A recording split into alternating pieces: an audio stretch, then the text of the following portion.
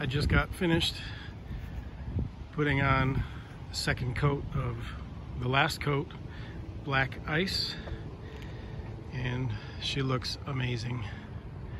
Super easy to use.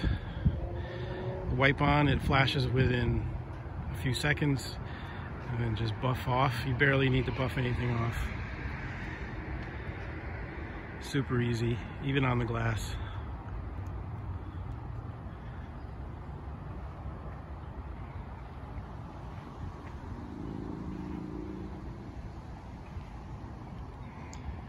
In seven days I'll be topping it with the last coat too